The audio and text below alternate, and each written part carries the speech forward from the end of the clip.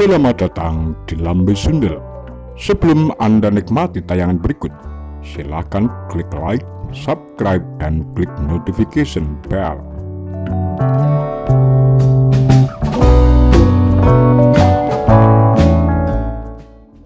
Ketika Soekarno enggan berperang melawan Soeharto, Soekarno masih perkasa namun tak ingin menumpahkan darah demi kekuasaan. Sementara Soeharto berani melakukannya.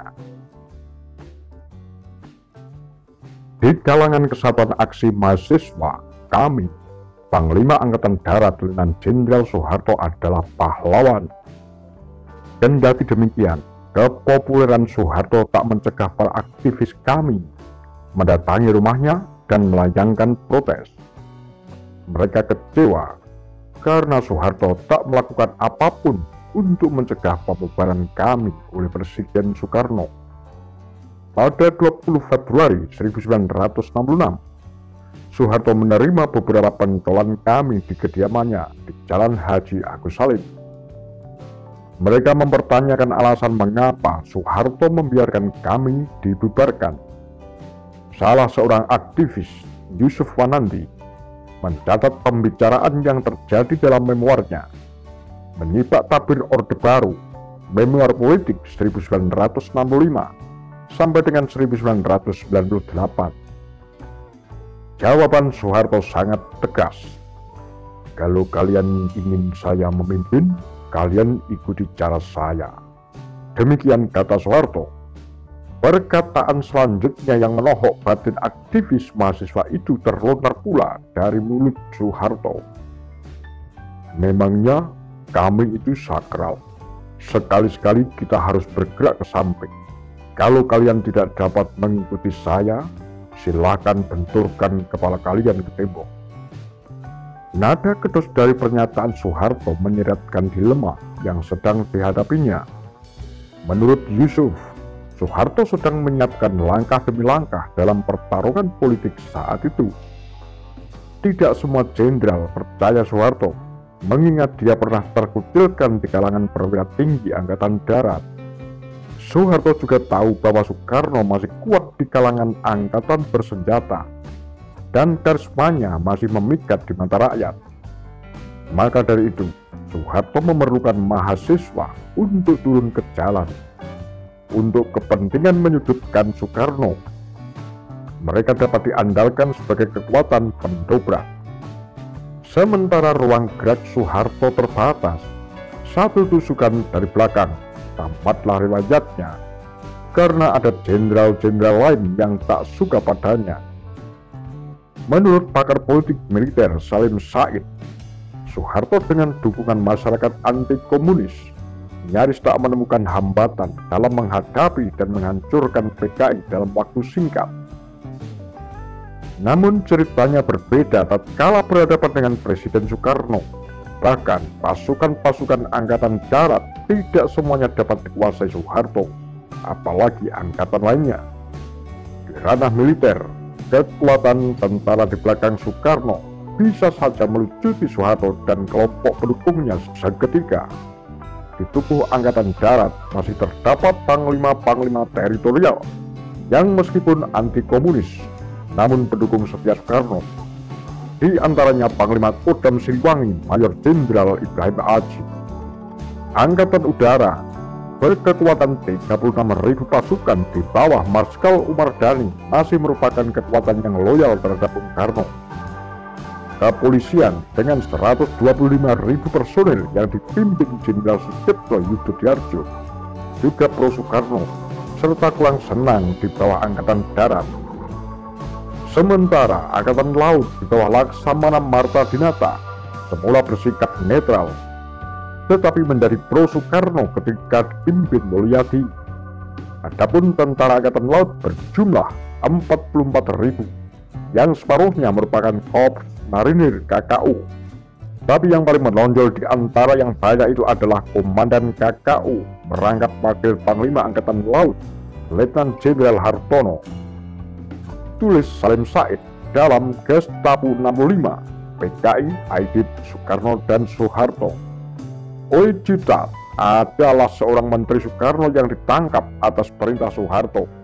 Dalam memoarnya mengatakan, para panglima loyalis pemanggul senjata itu sungguh menghendaki Soekarno mengeluarkan perintah tempur.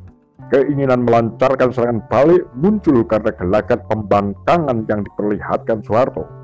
Pasalnya, setelah menerima mandat surat perintah 11 Maret 1966 Soeharto bertindak sepihak dengan membubarkan PKI dan menggusur menteri-menteri loyalis Soekarno. Di Jakarta, pasukan KKU, pasukan Gak Cepat PKT Auri, dan Brimob telah siap turun membela Soekarno. Mereka semua menunggu instruksi Presiden untuk bertindak. Dan instruksi itu tak kunjung datang. Ujar Oi kepada Pramudia Anantatur dan Stanley Adiprastio dalam memoir Oi Juta, pembantu Presiden Soekarno. Menurut Oi, berdasarkan penuturan orang-orang sekeliling Soekarno, Sibung sangat khawatir melihat perang saudara terjadi di Indonesia, sebagaimana Vietnam dan Korea.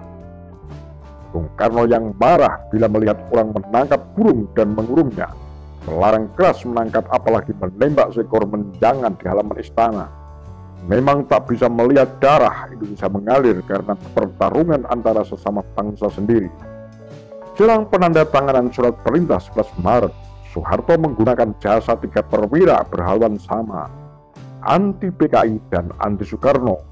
Mereka adalah Panglima Kostrat, Maulidris, Komandan RPKAD, Iniko Pasus, Sarwo Edilibowo, dan Hartono Rekso Tarsono, perwira dari Kodam Sriwangi, ketiganya memainkan peran masing-masing di masa transisi peralihan kekuasaan.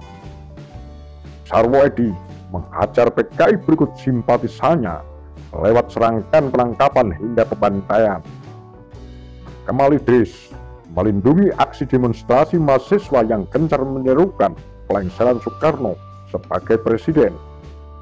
Darsono menggalang kekuatan politik di kalangan Angkatan Darat untuk mendukung Soeharto. Soeharto mungkin memberikan kebebasan kepada Kemal Idris dan Sarwo Edi untuk melakukan apa saja yang mereka anggap baik untuk memanaskan suasana. Asalkan apa yang mereka kerjakan tidak menyangkut pautkan Soeharto. Tulis Harold Crutch dalam militer dan politik di Indonesia. Strategi Soeharto adalah untuk memberi kesan bahwa ia telah kehilangan kontrol terhadap pasukannya yang dipimpin oleh para komandan radikal. Setelah menggenggam surat perintah 11 Maret, Soeharto kian di atas angin. Namun dia sadar betapa sukar menghadapi Soekarno secara terbuka. Masih diperlukan waktu dua tahun lagi bagi Soeharto untuk menyempurnakan penguasaannya atas tentara Coach mencatat, setelah penangkapan 15 menteri terjadi pembersihan besar-besaran di tubuh angkatan bersenjata. Yang paling besar menerpa angkatan udara, sedangkan pembersihan skala kecil terjadi di kepolisian dan angkatan laut. Sementara pasukan pengawal presiden resimen Cakrabinawa dibekukan. Semua perwira beraliran Soekarnois dicopot dan disingkirkan dalam kerangkeng penjara Tak pelak, Presiden Soekarno kehilangan pelindungnya. Soeharto akhirnya berhasil berdiri tegak sebagai Panglima Angkatan Darat dan Ketua Partai Tentara. Dari posisi kuat seperti itulah, secara beransur, Soeharto memenangkan pertarungan politik melawan Presiden Soekarno. Tulis Salim Said. Pada 1968, Soeharto melakukan pukulan pamungkas sidang umum kelima MPRS secara bulat memilih dan mengangkat dirinya menjadi presiden menggantikan Soekarno. Selama 30 tahun kemudian, Sang Jenderal bertahta pada singgasana kekuasaan tertinggi di Indonesia. Demikian pula-pula Tagar Lambe Sundel. Thank you.